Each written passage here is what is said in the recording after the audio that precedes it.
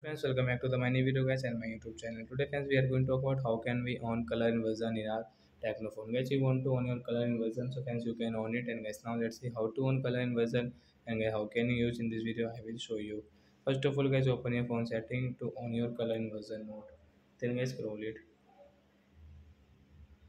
Guys click on guys phone special function.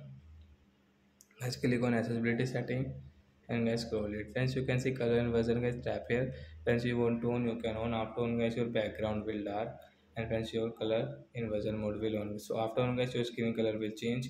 And guys you can see your screen color is different. And guys if you use any youtube any photos you can see this ghost like that.